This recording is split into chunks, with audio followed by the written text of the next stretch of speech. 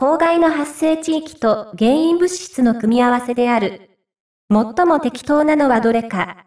一つ選べ。陣痛がわかる地域。カドミウム。我が国の出生に関連する保険統計の定義と、最近5年間の傾向に関する記述である。最も適当なのはどれか。一つ選べ。合計特殊出生率は、15から49歳の女性の年齢別出生率をもとに、算出されている。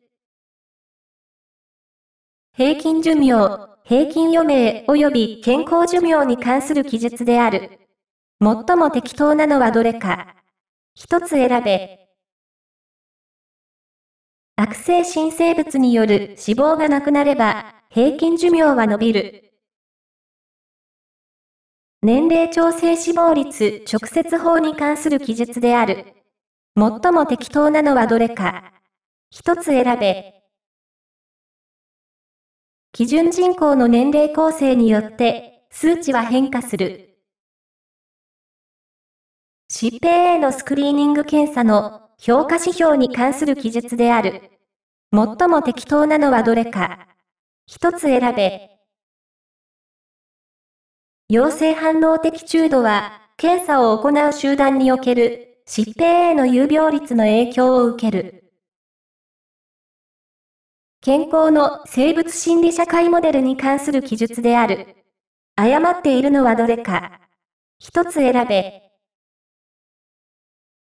疾病を単一要因により説明する。NCD に関する記述である。最も適当なのはどれか。一つ選べ。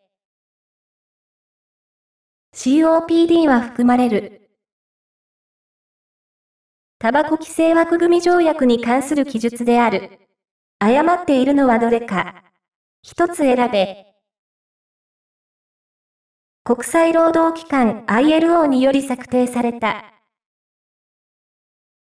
乳がんに関する記述である。最も適当なのはどれか。一つ選べ。法に基づく市町村事業としての検診では、マンモグラフィが推奨されている。検疫法により、検疫の対象となる感染症である。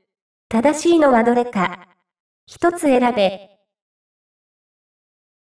自家ウイルス感染症、児童虐待のうち、ネグレクトに該当する記述である。最も適当なのはどれか。一つ選べ。食事を与えない。我が国の医療保険制度に関する記述である。最も適当なのはどれか。一つ選べ。医療機関受診の際には、現物給付が原則である。市町村保健センターに関する記述である。最も適当なのはどれか。一つ選べ。対人保健サービスを提供する。医療と福祉に関する事業等とその根拠法の組み合わせである。正しいのはどれか。一つ選べ。難病患者支援障害者総合支援法。介護保険制度に関する記述である。最も適当なのはどれか。一つ選べ。施設サービスは予防給付の対象とならない。労働衛生の参管理における作業管理である。最も適当なのはどれか。一つ選べ。労働時間の制限、人の細胞の構造と機能に関する記述である。最も適当なのはどれか。一つ選べ。細胞膜にはコレステロールが含まれる。アミノ酸とタンパク質に関する記述である。最も適当なのはどれか。一つ選べ。ガンマアミノ酪酸、ギャバは神経伝達物質として働く。ホスファチジルコリン、レシチンに関する記述である。最も適当なのはどれか。一つ選べ。単純に含まれる。酵素に関する記述である。最も適当なのはどれか。一つ選べ。酵素タンパク質のリン酸化は、酵素活性を調節する。アミノ酸、糖質、脂質の代謝に関する記述である。最も適当なのはどれか。一つ選べ。バリンは、糖原性アミノ酸である。個体の恒常性、ホメオスタシスに関する記述である。最も適当なのはどれか。一つ選べ。コルチゾールが、副腎皮質刺激ホルモン放出ホルモン CRH の分泌を抑制するのは、負のフィードバック機構による。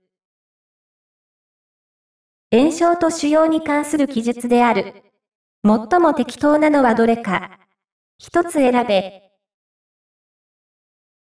肉毛組織は、組織の修復過程で形成される。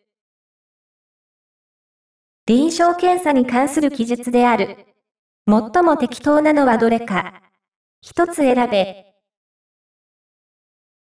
臓器移植では、人白血球型抗原 HLA の適合を判定する。治療の種類に関する記述である。誤っているのはどれか。一つ選べ。急性胆脳炎に対する胆脳摘出は、保存療法である。お疲れ様でした。